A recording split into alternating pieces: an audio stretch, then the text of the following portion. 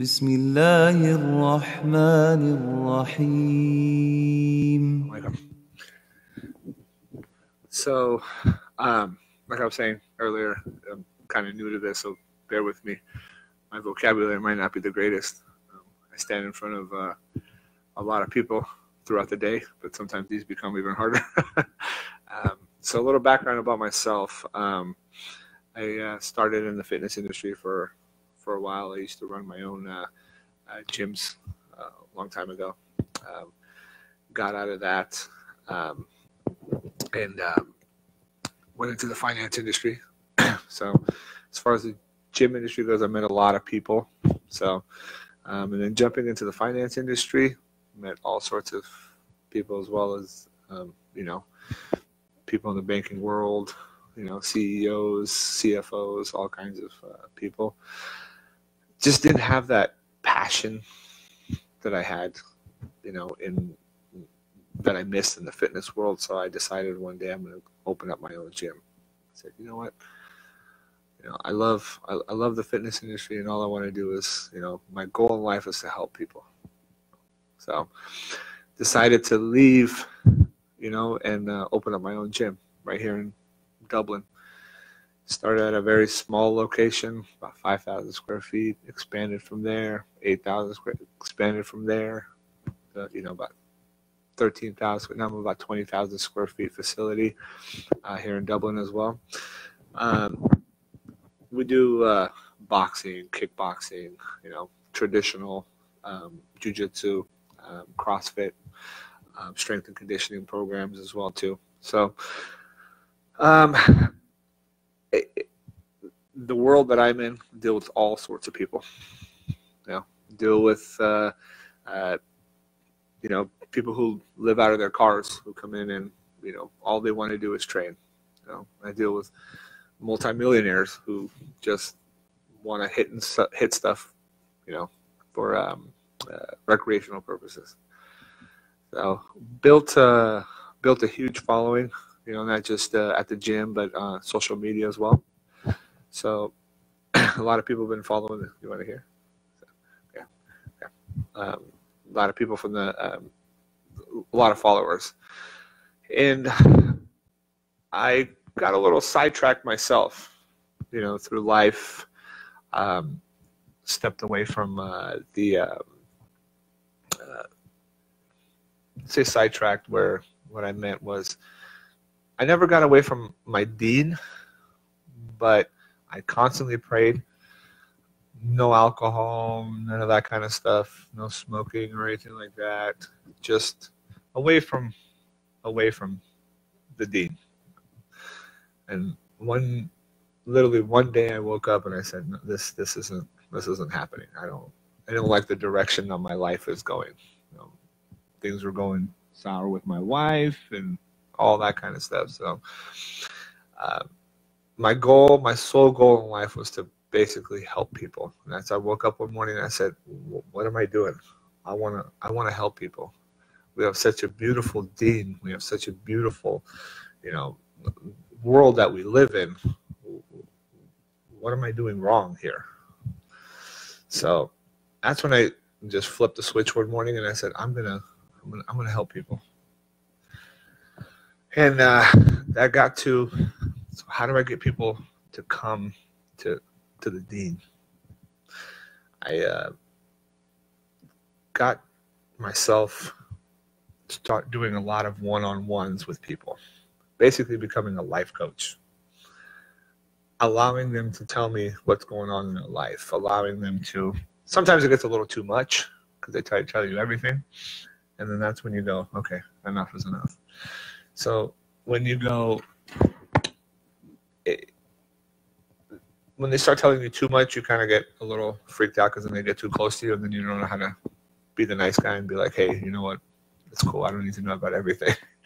so, I uh, I sat down one day and I said to one of my guys, and I said, "Hey, what's what's what's your ultimate goal in life? What do you what do you what do you want to do?" He tells me, he goes, "You know, he goes, I have I have no substance in my life. I have no substance in my." He goes, one thing I notice about you they call me coach. So that you know, one thing I notice about you, coach, is that you. I always see you being kind to people, being nice to people. Why? Why are you always so nice to people? You know, I see people taking advantage of you. I said, well, I try my best not to allow people to take advantage of me, but you know, that's on them. And he said, I always see you going and sitting in the corner and praying all the time. Why do you, you, you go and you go in the corner and you go pray? What do you do? What do you, what do you, what do you do? I, I, or I see you in your car and I see you in your car praying and I see you bowing your head up and down. He goes, what are you, what are you doing in there? And uh, I go, I just, I, I, I pray to God, you know, I pray to God for guidance. I pray to God for, you know, to help me in my life, to help me grow this business so people like you have some place to go. So, and that's when he said, I, I, how do I, how do I get to where you're doing? How do I get to do what you're doing? So he just sat down one day and I broke down Islam to him. I'm not the greatest at uh, at Islam. I'm not the greatest of through surahs. I'm not, you know, I'm not the greatest, you know, reciter of the hadith. So, you know, I've I've read the Quran. Have I read it in Arabic? No, I haven't read it in Arabic. Have I read it in English? Yes, I have. You know, but do I understand it? Yeah, I do understand it. You know, people come to me goes you know during the month of Ramadan he goes I see you during the month of Ramadan you're you're working so hard but you know you people always talk about you're not drinking any water you're not eating any food. How are you able to sustain it? I said it's just pure energy pure pure love of of what I want in my life through Allah so through God you know so I, I go because sometimes when you tell them Allah they go well, well who, what's that? It's just another form of God you know so that was my first that was my first guy that I you know that I brought into this world of uh, of our deen of Islam. So um, make a long story short, he he is he's he's out there uh, preaching now himself. So um, I started bringing people over to the mosque. I love MCC, by the way. It's it's just such an amazing community, such amazing people. I one of my members, one of my close friends, who's also a police officer for Alameda County Sheriff's Department here in, in thing comes up to me. He he says, "MJ, I'm I'm going through a lot of my life, and ever since we've been talking to you, he goes, I, how do I how do I how do I get into Islam, the first place I bring him to is here. We have such amazing scholars that come in here during khutbah that I, wouldn't want to take them anywhere else. So, and then Munir came came to me, brother Munir came to me one day. He goes, "What do you what do you do what do you do for people? What do you what what do you say to them? Why you know, you know?" And I told him, and I said, "It's about your character. It's about how you talk to people." You know, I said, what scares me off the most about uh, uh, about religion sometimes is the way people preach it to you. I said I was walking in the mall, and I had a few people come up to me and say, "Hey, do you want to join our fellowship group? You want to, you know, our, our our our friendship group? We have this, you know, meeting tomorrow." And I thought that was kind of creepy. That I, you know, I'm just walking through the mall with my wife or my kid, and some guy walks up to me, or a couple people, young kids, walk up to me, hey, do you want to come and hang out and talk? That's nowadays it's kind of like, well, what, what, what are you, what are you trying to do here? So I, I thought that was really creepy to me. So I sat there and I said, I said, no, this is this isn't the right approach. This isn't this isn't the right approach that these people are taking. Brother Munir told me that you know, there's some people that are going around kind of doing the same thing. I said, that it doesn't, that's not how it, that's not how it works. And that's not how it should work. You know, I always say start from your current circle that you're at right now, you know, and branch out from there. talk to the people around you that you hang out with talk to the people that are current muslims but not even in their deen right now they're kind of venturing off other places you know bring them in. And that's what i started doing. I started talking to a lot of my brothers in the gym and started talking to a lot of my family members who were starting to venture off into uncharted territories i would say. That's it you know and i go hey let's let's hang out. Let's go to juma prayer. Let's go talk. Like i was saying about our scholars that come in here and talk they're just so so knowledgeable and so loving. So i basically went from there and just started building you know and they started telling people that how how do you convert people to to islam and i said well I basically just show them love, show them respect. You know? I don't preach to them. This is what you do. This is what you have to do. This is what you have to do. None of that kind of stuff. Everybody needs love. Everybody needs that that that hug, as I would say. You know. So if you I would tell people when you know somebody around you that you see you go, hey, they're going through something. Talk to them. Talk to them and tell them and say, hey, what's what's going on? You know, have you asked God for help? Have you asked God? Have you asked Allah for guidance? Have you asked, you know, who who do you who do you go to for your guidance besides, you know, what do you do at night before you go to bed? So, those are the questions that start I start asking, and that's when I start digging in, and you know, but I start from from right there. Now I have, you know, multiple people at my gym that have converted to Islam that I've brought here that have done their shahada. You know, one sister actually did it a couple of weeks ago.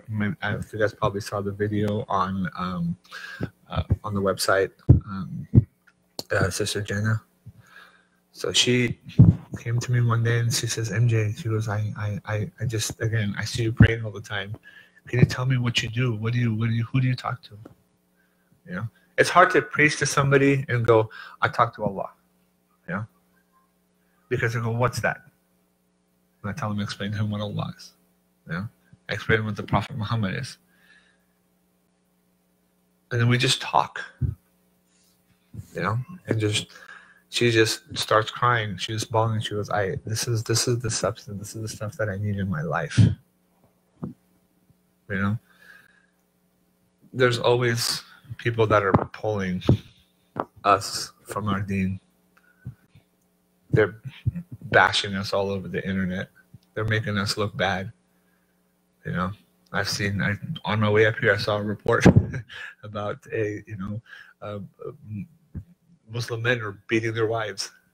You know, is that true? No, absolutely not you know and i've and i've gotten asked that question so many times why do you let why do muslims let you know i, I don't want to the sisters ask you i don't want to be with the man who who who puts me down or this. I'm like actually no that's not true. Where are we hearing that from? We have the utmost respect for our women. That was actually one of jenna's questions. I see a lot of muslim men love and respect their women like there's no tomorrow. So um, then I went on from there to my brother Mixon. He's he's he's he converted. I brought him here. Um, just messaged me the other day. He he sent me a text message. He goes, I um his exact text to me was I'll pull it up right now.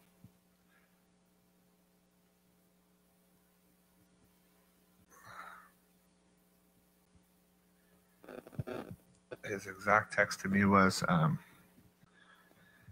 "Hey, bro, I just want to thank you for giving me such an amazing gift by introducing me to Islam.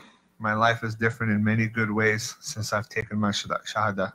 Today, I went to Talif in Fremont and spent four hours in study. And that kind of just, I sat there and I just started crying to myself, and I said, to get a to get a message like that, you know, it's one of the best feelings in the world from there on, my my brother-in-law, you know, I have so people ask my my brother-in-law is a Mexican, he converted to Islam. My sister-in-law, she's a Mexican. She converted to Islam. You know, we live in a different world now where Afghanis are not marrying Afghanis, Pakistanis are not marrying Pakistanis, Indians are not marry, marrying Indians, you know? And as long as they make that conversion the way we talk to them and the way they practice it. And then there's also coming to our deen and then practicing it as well too. Some people forget to, how to practice it. Some people don't teach them how to practice it. Guide them is what I would say. So I don't in all honesty I don't do much. I just I I I I open my mind to them. I listen and I hear them out. You know, I don't continually preach. Know, brother Munir was telling me that you know there's a lot of people that go door to door nowadays, and it's just not working. It doesn't work. Start with your inner circle. Start with the people. Start with your friends. Start with your coworkers. Talk to them. Show them your character. Show them how beautiful how, how beautiful Islam is. And show them how Islam is about love. So that's uh basically it for me. So if you guys have any questions, if you guys, you know, if you have any questions for me, I'll you know, I'll gladly answer them. But you know, um, I I wanted to do this Brother Munir and also the mosque just to, you know, just to tell people what it's about. It's about treating people with love and respect. So that's basically it. Uh, so uh, I just work at a company just a few blocks. Like, uh, like over there, all people are really kind and respectful. Like I have two two coworkers, like our same age group, and you know they have like same characteristics towards the same of them, like you know, loving and caring and everything. Uh, they read Bible, so uh, I mean they're very uh, like you know focused about their religion and Mhm. they're, they're very nice people. So how do you? I, I don't know where to take after that. Uh, it's again it's very simple you know we never want to bash what they're doing you know we always say how similar the bible we always say how similar every single culture and how every single deen is you know christianity is so close to islam catholicism is so close there's only a few things that separate us from you know from anywhere thing you know but i always ask the, i get the same question a lot they go well um, God. You know, they refer to Jesus as God. Okay, so I can wake up tomorrow and I, and I tell them, so I can wake up tomorrow and I say I'm God. How can a human being be God? That's the simple question that I ask them. You know, how often, how often do you, how often do you read that Bible? yeah we have a lot of Bible thumpers. We have a lot of Bible preachers out there. Yes, absolutely. Sometimes those are the hardest ones to get. I'm sorry. So sometimes those are the easiest ones to convert. And I've had two of them that were so deep into the Bible that they would ask me. I actually brought them over about three weeks ago. A whole family's Christian, Filipinos, hardcore Christians. Sunday church. What are you doing? I'm going to church this Sunday. He was here with me. Here's what, Jesus is this. There's a lot of questions that I can't answer. And I go, oh, okay, I'll answer that question for you because I want to answer it educate, you know, educated. So to answer your question, yeah, those those are the ones that you continue to tell them, continue to tell. So they ask you, they go, well, the number one question will go, well, what's who's who's who's Jesus? We believe in every single prophet there is. You know, everyone. You know, there's a lot of Jews. I I train two Jews right now. He messaged me last night. I wished him happy Hanukkah. He go, you don't believe in Hanukkah? Why are you wishing? You're a Muslim. And he was joking with me. I go, well, why can't I wish you happy Hanukkah? Oh, I thought you hate us. Why would I hate you? I have the text right. Why would I hate you? And what his next thing was to me? We're similar. We're so similar. And that automatically opens a door for me to ask them and say, hey, what I mean, do you even practice your Judaism? Do you even practice your thing? And I can certainly most of the time guarantee that they don't. So, yeah, it, it's there's there's all sorts of there's all sorts of people in the in, in the world that would eh, you know it's a they all need guidance. You know, what do you get? And you ask them, say, hey, what do you get from Christianity? What do you get? I want to know. I want to know about your religion. Tell me about it. Make them feel important. So that's what I do. I ask them and say, hey, tell me about yours. Because a lot of them are, they'll tell you, right? They're all loving and caring and all that stuff. They're all good. They're all good. And but when you actually ask them and say, "Tell me about your religion," they'll, oh, you know, a lot of them don't know because they read what they read on social media. They read what they read, you know, and a couple quotes here and there that Jesus said this and this and this and that, you know. So, but you know, I don't personally. I don't want to offend anybody, so I I, see that like you know that you have good character, you show people good character, you have a little conversation, but what goes from point A to point B of like getting convert? Because obviously there's a lot that happens in the middle. Oh yeah, oh yeah. So like what? Because what do you mostly do to get them to convert? Um, You know, like you, you obviously talk to them, have this conversation. You know, you show good character, but from there, and like, do you ask leading questions? Like I said, like you ask leading questions, but from there it goes to There's a lot. Like what happens? Like that caught, So- that light spark for them. I'll ask them and say, "Hey, have you have do you read? Do you do you do you take time? Because what a lot of people do is they don't read, you know. So I'll give them the book. There's a book that um, Munir had given me a while back. I, I just slipped my mind of the name of the book, but you know, there's three of them. There's just Introduction to Islam. You know, I go, hey, on your on your free time, read this book. You know, I, a lot of them go, I don't read, and I go, well, if you find 10 minutes of your time, can you read? You know, read this, read a couple pages of this and tell me what you think. And I go, report back to me, basically. You know, hey, tell me, tell me what you, and I'll ask them like two weeks. I don't wait like a couple days or anything like that. I'll ask them like in a week or two. Like, hey, did you get a chance to read that book? Or did you get to read uh, a couple pages of that? You know? Go, okay. And then on their, I have their phone numbers. I start sending them, you know, I start sending them hadith. And honestly, I do. I have their. I'll get their phone number and I'll send them in English. I'll send their hadith to them. He goes, "Oh, this makes sense. Oh, this makes sense." You know? But it all has to do with just, um, yeah. There's a lot. There's a lot that goes on leading up to it. Yeah, there's a lot that leads up to it. But you know, it, it if you really want them to convert, you want to give them their time. You know, people need friends. People don't have those those people that they can turn to. You know, I'll ask them and say, "Hey, what's going on in your life today? What happened today? Everything okay? Oh, I got into an argument with my wife. Oh, my girlfriend left me. Why? What happened? Tell me. Did you know that it says this in, in, the Quran? Did you know that it says this in the Hadith? Did you know this? And then that same night, I'll send them calming quotes. So, and then they go, "Oh, wow! I, well, thank you. I appreciate that. I didn't know you were actually thinking about me tonight."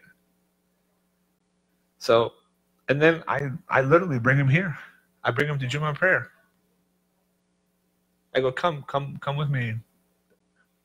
I don't tell him to meet me here. I go, "Come with me," because if you tell them to meet you, they'll give you an excuse not to come. I go, "Come with me. Let's go." Do you have, do you have 20, 30 minutes? well, I don't know what to do. I don't know what to, I, I, you know, just come and sit with me. Three people I brought with me, they don't, they've never prayed in their life. I go, just stand next to me. That's all you need to do.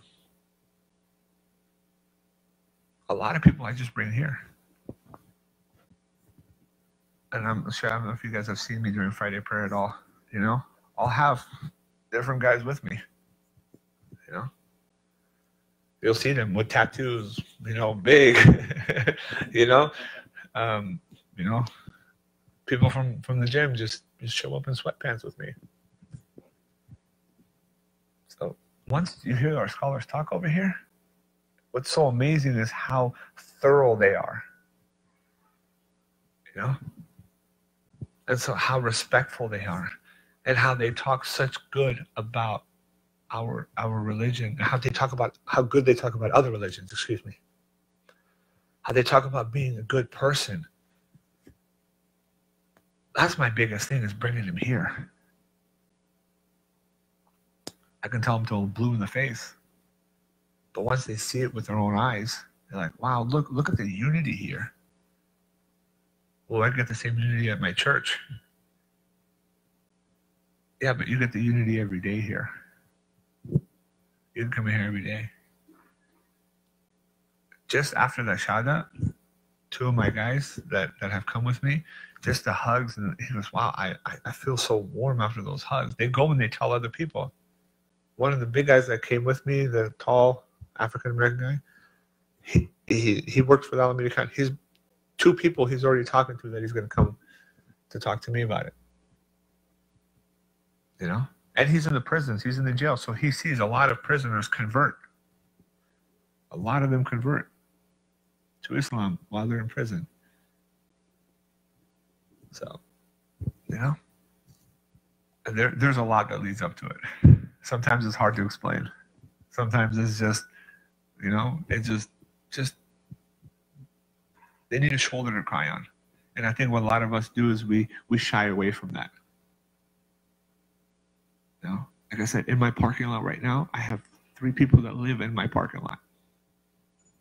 Not because, not because that's what they want to do. And I'm talking to them. Well, well I want to fight.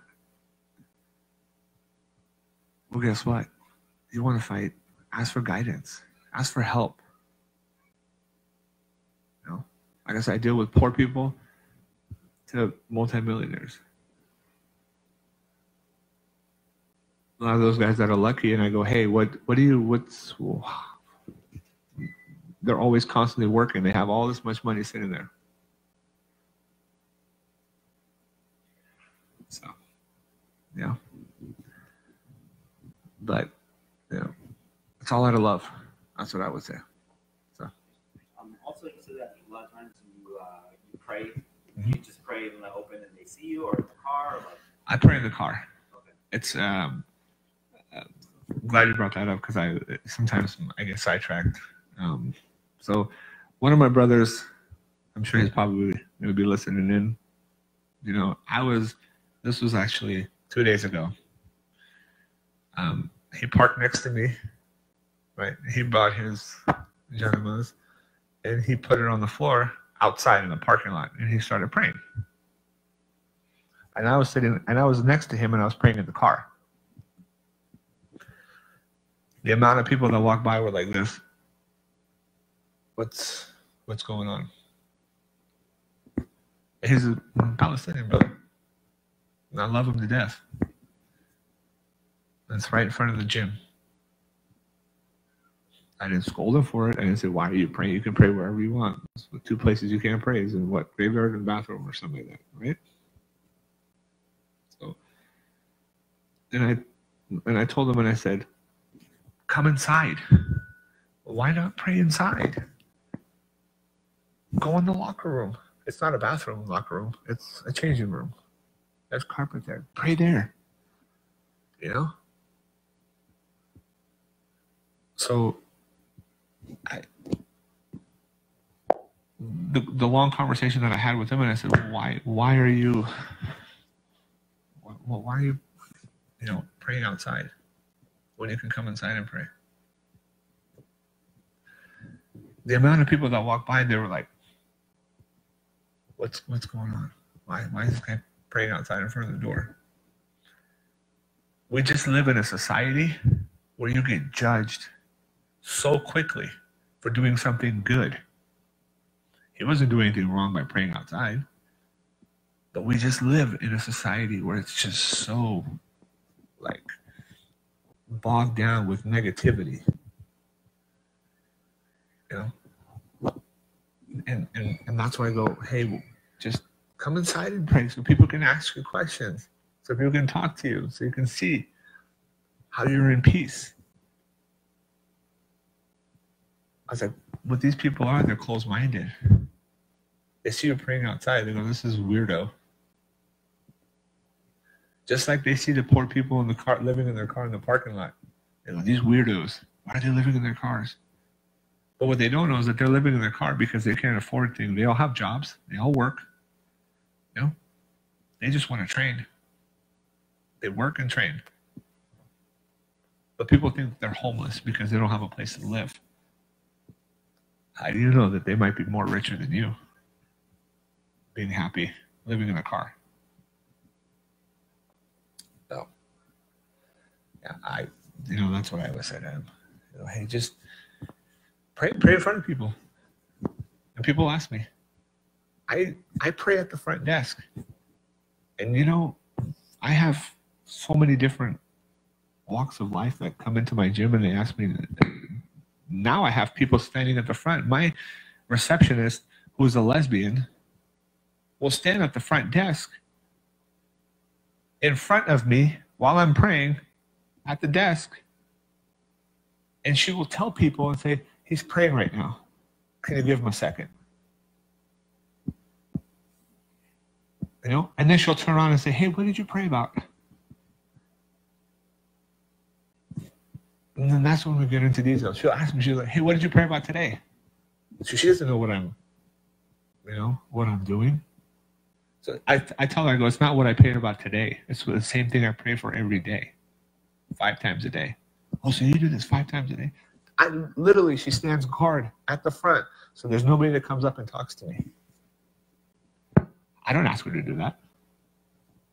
But just don't bother him. He's, he's like two minutes, two, three more minutes. So that's that's basically it. You know, so there's a lot of steps that lead up to it, and I, I you know, sometimes it's just hard to explain. So, yeah. But uh, that's my world, and I always I always tell people I said, come come to my world and see what I do. You know, I have unfortunately I have women who walk around with booty shorts all day long during the month of Ramadan. Am I going to scold them for it? No. You know, I still talk to them. Why? Because you never know what people are going to say. I have tattoos all over my body. Does that make me a bad Muslim? No. There's one of my brothers that came in here about three weeks ago, and he is He's a Muslim. Tattoos all over the place. Does all sorts of extracurricular activities. And I tell him, I go, hey, you're, what's, what's wrong with you? Why are you running away from Indeed? He goes, it's because what I do. What do you do? I know what you do already. What do you do that's bad? I just feel like it's bad. I don't think it's bad.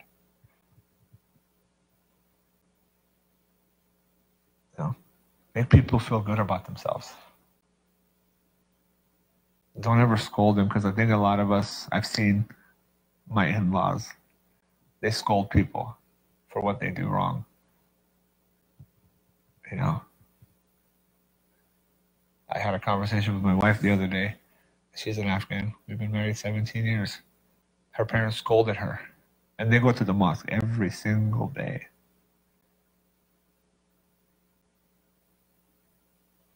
She said her parents told her, like, if you have a Christmas tree or an ornament in your house, we are not walking in your house. And they're trying to get their own kids to follow the deen. And they're already Muslims. If we think like that, I have a Christmas tree. You know, does that make me a bad Muslim? No.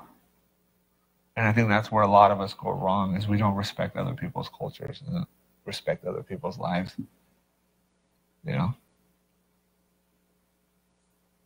So people might think I'm wrong, but you know, that's just the way I am. You know, I show their culture, I show their, I show their, uh, um, their, uh, their religion respect. My kids go to an American school. My kids get the full benefit of of of being in this country. You know, we get the full benefit of wearing our traditional clothes out in the street. You know, but I was, you know, I told my wife and I said to her, and I said, why? She's like, "Mm, my parents told me they're not going to walk in our house because we have a Christmas tree. "Oh, Okay. So we have a Christmas tree. Does that mean I'm going to go to Sunday Mass? No. that means Friday I'm going to prayer. You know, my kids give gifts. My kids give gifts. During one of the khutbahs, one, one of the brothers said, he says, if you get a gift during these times of the year, don't say you don't want it. You know, embrace it. They'll give you an alcohol. Doesn't mean you're going to drink it. Put it aside. Don't throw it away in front of them say, I don't drink alcohol. We don't drink alcohol. Just put it away. Don't give it to anybody else. Throw it away later. So, you know, getting people to convert is is is sometimes very hard, sometimes very fun. And people go, "Oh, do you know how many? Do you know how much? Do you know how much uh, did you get for this?" You know, that's not what I'm looking for. If that's what I was looking for to getting, then I'd be going around every single day trying to get people to convert. I do it because I love my deen. I love what we stand for. So, yeah. That's it world. So if there's any more questions, we'll be good. So, yeah. But um, that's it for me. Thank you guys your time.